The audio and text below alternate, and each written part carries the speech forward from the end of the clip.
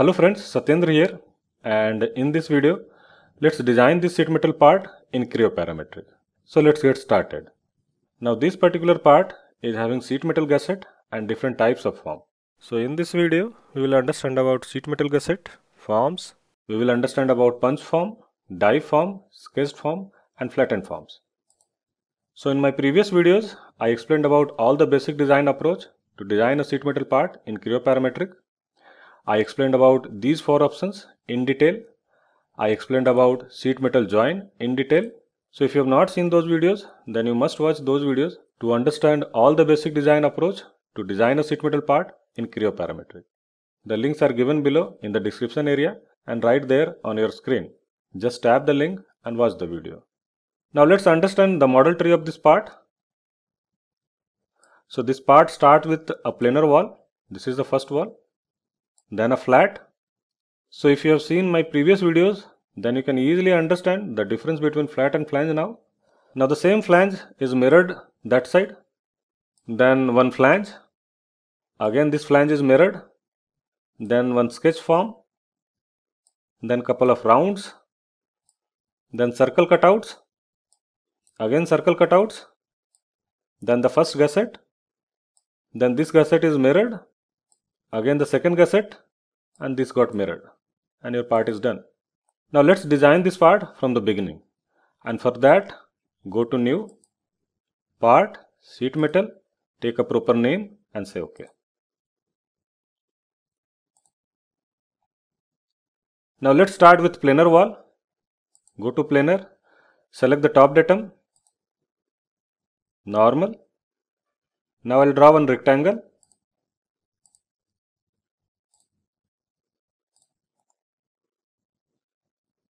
This dimension is 10 and this is also 10. You can make it equal. Say okay. Thickness I will consider 0.2 and I'll say okay. So this is my first wall. Now the second wall is this wall and for that I'll go to flat. I'll select this edge. Now this particular dimension is 6.5 here but if you see this dimension carefully you will find that this is from bottom surface. Now this particular dimension is taken from the top surface.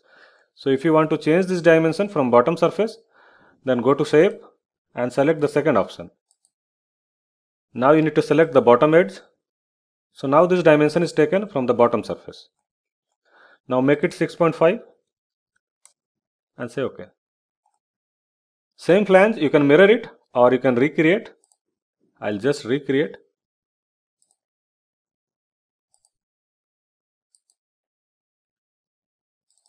This dimension is 6.5 Now the next flange is this flange and for that I will go to flange. I'll select this edge.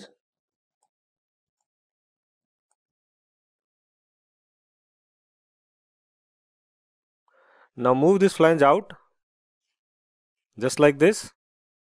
Go to sketch, normal.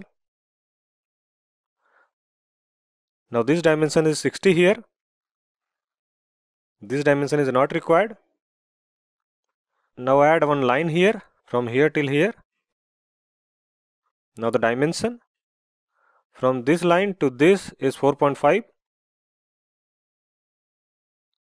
now this line is 4 and say ok now the bend radius is 1 here these two bend radius 1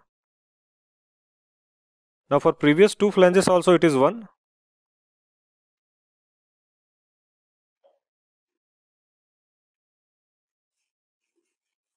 Here also it is 1.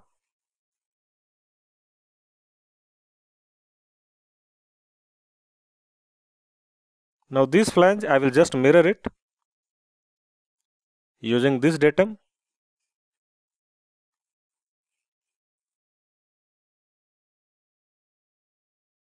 Now the next feature is round. So I'll go to round and I'll select this edge.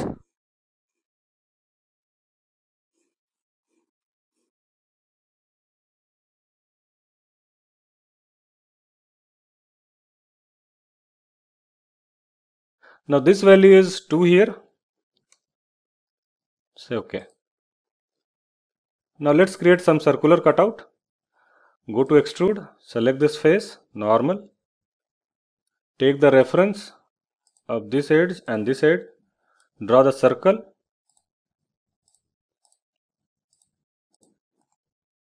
This die is 2. Say OK make it through all and say OK. Similarly, select this face, normal, take the reference, this edge, this edge, this edge and this edge, draw the circle,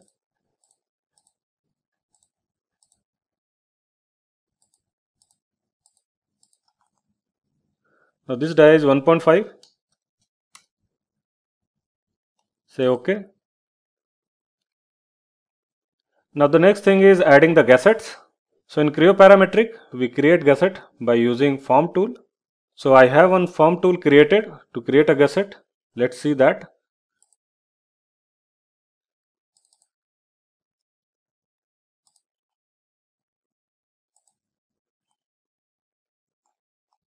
This is the form tool. Now see the model tree.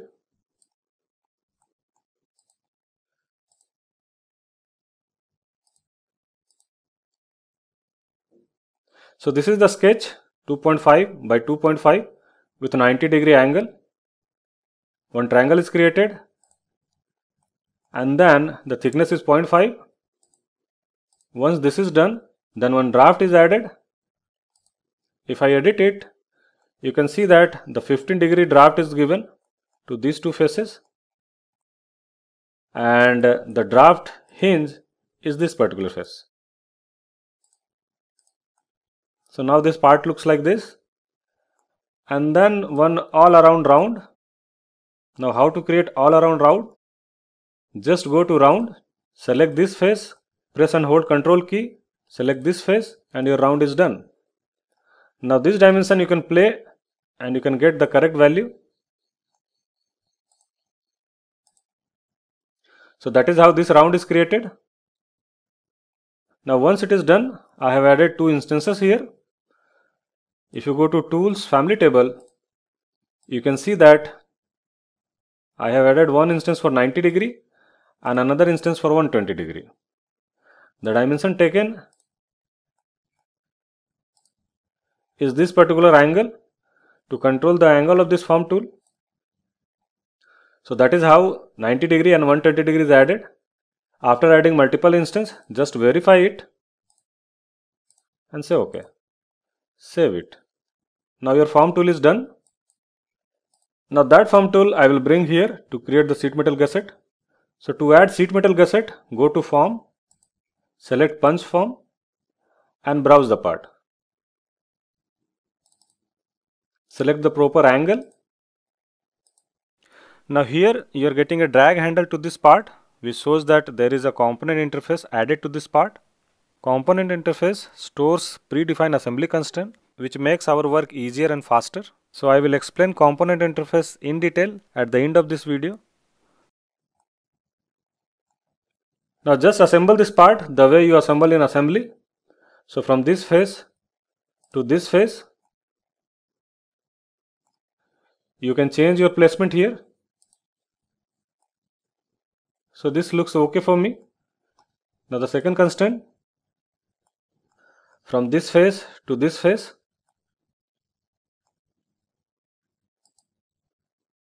this also looks okay for me. Now the last constraint is from the mid of this tool to this datum plane. So this got assembled.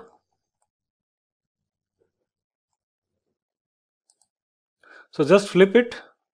Now just change the direction of the form it has to punch down. Now if you go to preview, you will see that gusset is created. Use rounds onto the placement edges.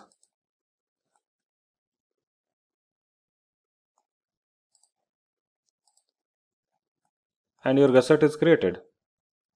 Now this gusset you can easily mirror it. Just like this or you can recreate it if you want. Now one more time the same thing we'll do. We'll go to form, punch form and this time I will take 120 degree, the second one. Now from this face to this face and from this face to this face.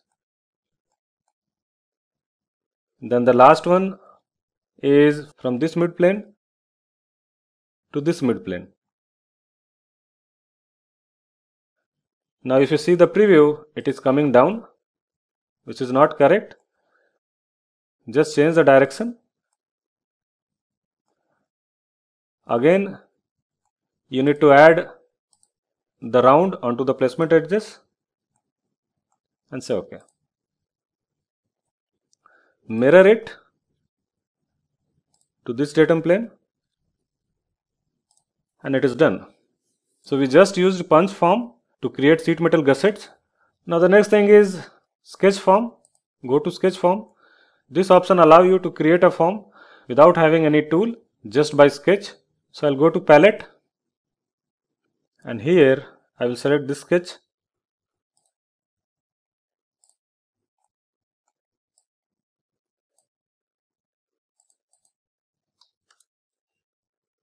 I'll say OK.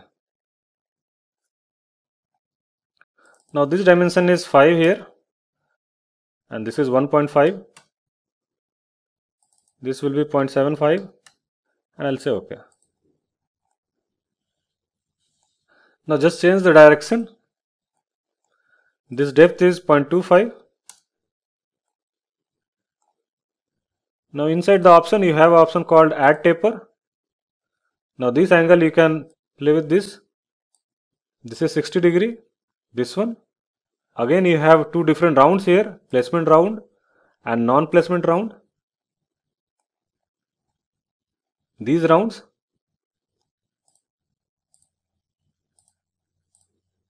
I'll say OK. Your sketch form is created without using any tool. Now one more option we have which is flatten form. So these options when you select it, it will detect all the forms and it will flatten all the forms. Now why this option is needed? So when you go for flat pattern, you get a nice clean flat pattern like this. These forms get flattened easily. This is because you have an option called flatten forms here.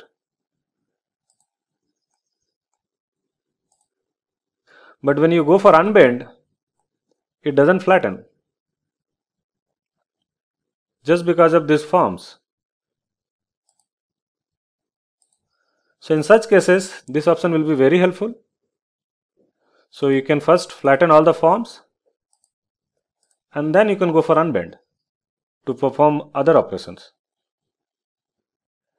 So I just covered sheet metal gussets and I covered some basic sheet metal design approach in Creo Parametric. Now let's understand the component interface, how to add a component interface to any part. So the component interface contains stored constraints or connections that are used to quickly place a component. So it is like you need three datums from this part and three datums where you are assembling this part to assemble this part. So that while assembling this part, you don't need to select these three datums again and again. So it reduces your amount of work and make things faster. So let's try component interface. So this is the footer get created when you add a component interface. I will just delete this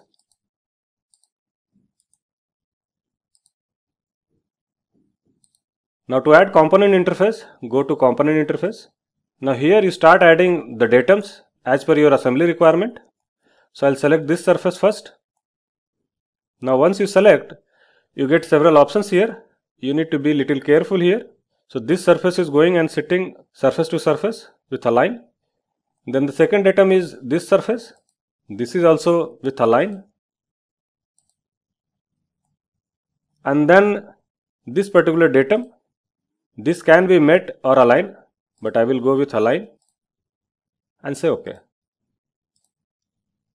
Your footer is created. That means your component interface got added. So this is how we add component interface. Now when you call this part as your punch tool,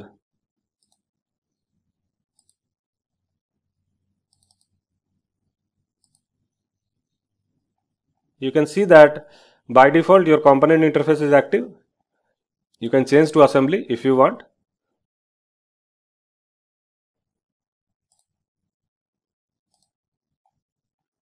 Now here your three datums are predefined. So just by selecting other three datums will do all your work. Now once you have placed, you can go to the placement and you can change it from here. Suppose this time I want some distance this side, I can move it.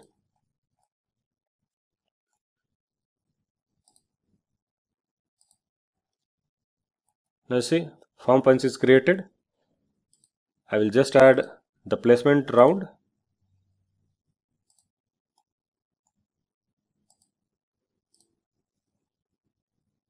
So this was about component interface. So I just covered sheet metal gussets and I covered some basic sheet metal design approach in Creo parametric and I hope this will be helpful.